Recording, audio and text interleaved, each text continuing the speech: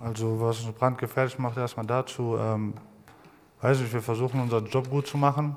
Und äh, wie gesagt, wie vorhin, das sind nicht nur wir zwei, das ist die ganze Mannschaft.